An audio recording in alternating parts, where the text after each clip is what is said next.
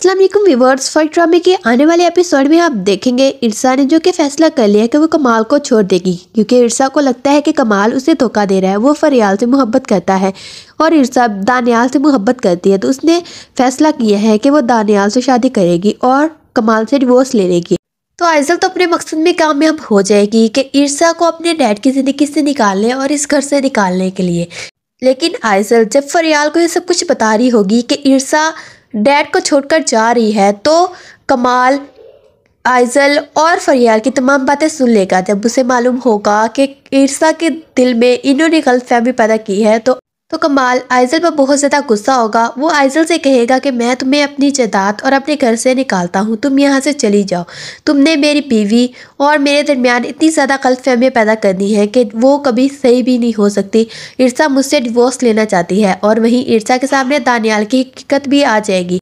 कि दानियाल, एक धोखे पास लड़का है, वो सिर्फ़ लड़कियों का इस्तेमाल करता है और उनकी प्रॉपर्टी अपने नाम करवाता है। तो वीवर्स आपको इस ड्रामे में कौन सा करेक्टर ज़्यादा अच्छा लग रहा है? कमेंट का ज़रूर बताइएगा। वीडियो अच्छी लगे तो लाइक शेयर कमेंट करना मत भूलिएगा।